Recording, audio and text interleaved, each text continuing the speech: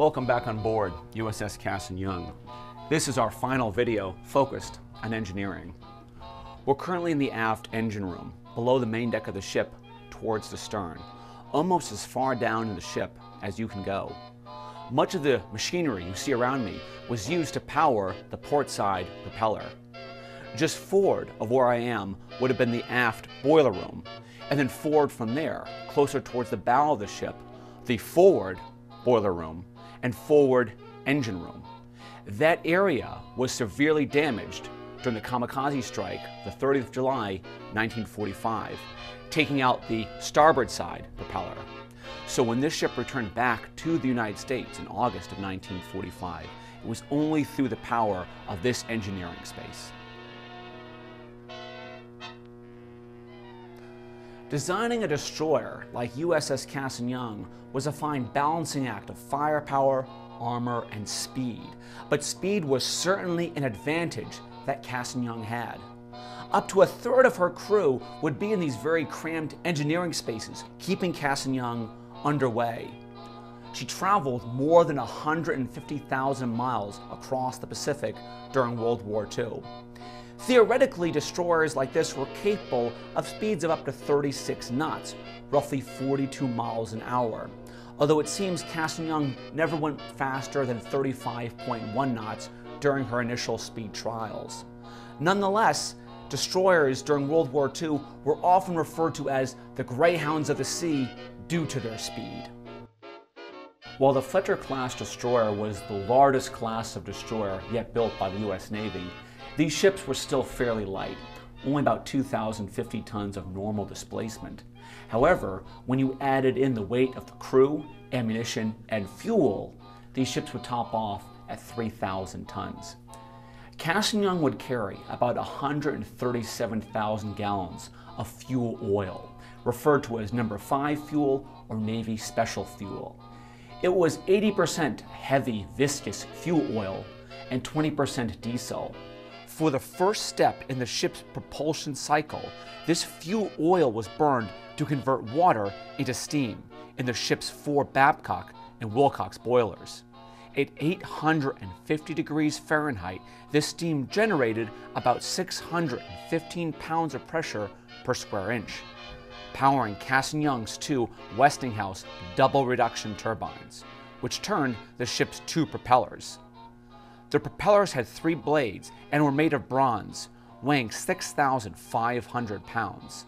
Finally, a condenser cooled the steam back into liquid water for rerouting back into the boilers to repeat the entire cycle over again. Naturally, some water and steam would be lost in this process, so Cassin Young needed to use evaporators to distill fresh water to be used as feed water from the sea as salt water itself was too corrosive to be used. Behind me is a de-aerating tank that removed oxygen from water before it was used in the boilers. At full capacity, those boilers carried about 9,600 gallons of water. Cassin Young carried 18,000 gallons of feed water and 17,000 gallons of potable water used for cooking, bathing, and drinking. But water usage for steaming always took priority. This is what's known as a throttle board. The sailors stationed here would be in constant communication with the engine order telegraph man in the pilot house at the bridge. They're going to be redirecting steam power throughout the ship and deciding how fast the propellers would be going and in what direction. While at sea, Young could steam between 4,500 and 4,800 nautical miles before having to be refueled if she was traveling at roughly 15 knots. Cassin Young would be refueled at sea usually every three to four days. This was a risky maneuver that required absolute precision. Cassin Young and whatever ship was refueling it would have to travel on parallel courses physically connected by fuel hoses.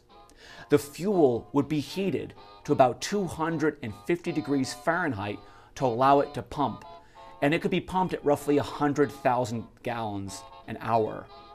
This ability to be refueled at sea allowed Young to be very effective traveling across the vastness of the Pacific during World War II.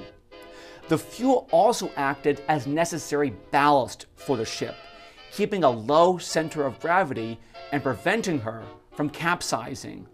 In a worst case scenario, and Cassin Young could not be refueled regularly, seawater could be injected into the fuel tanks to act as that necessary ballast.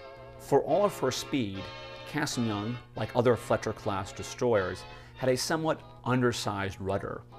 That meant that her turning radius was wider than that of a battleship or even an aircraft carrier. It might take her 88 seconds to complete a 180 degree turn. However, in World War II, the thought was that a faster turning radius would make her anti aircraft guns less effective at tracking and hitting enemy planes. Nonetheless, in the 1950s, her rudder was enlarged, allowing her to complete a 180 degree turn in only 59 seconds. Much like her guns, the engineering and propulsion system of USS Young no longer works today. When she was towed here in 1978, in fact, it was an Army tugboat doing all the hard work for her. However, Young has been a museum ship for now more than 40 years. As you walk her decks today, you are literally walking through history, seeing the ship as generations of sailors did in the 1940s and 1950s. Cassin Young's presence here is a testament not only their service, but to that of the civilian workforce that constructed, repaired, and renovated warships in industrial navy yards like the one here in Charlestown. Truly, USS Cassin Young is a sterling example of America's arsenal of democracy.